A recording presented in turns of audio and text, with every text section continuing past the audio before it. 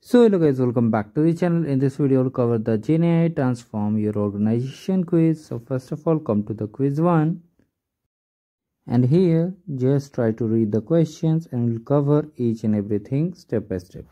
So here the answer will be temperature. Now can you distinguish? What are the target user for the GenAI Studio? Yes, it is beginner friendly.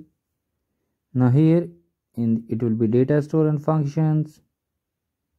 So what is the reasoning loop? Can you tell me about it? Similarly, now for the fifth question, read it carefully and try to answer it. And let's check it. So you can see we got the passing score you can comment down if you make any wrong now come to the quiz 2 read the questions carefully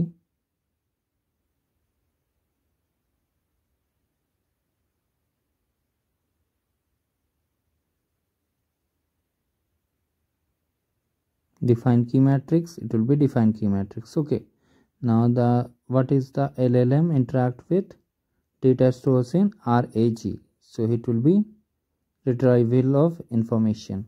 So now the next question. It will be grounding.